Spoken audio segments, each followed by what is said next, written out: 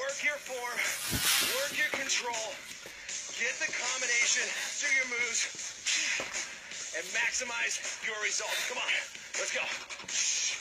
Right back, elbow, knee, Superman, boom. You got 10 seconds, go. Lean back, abs on, core engaged, five seconds, coming out of spike, heart rate's up, you're sweating. So we're gonna let you but you're still working. How are you working? By rotating, uppercut, uppercut, hook, side kick. So just because you slow down does not mean you're not working, right, Jared? That's right. Everything is still moving.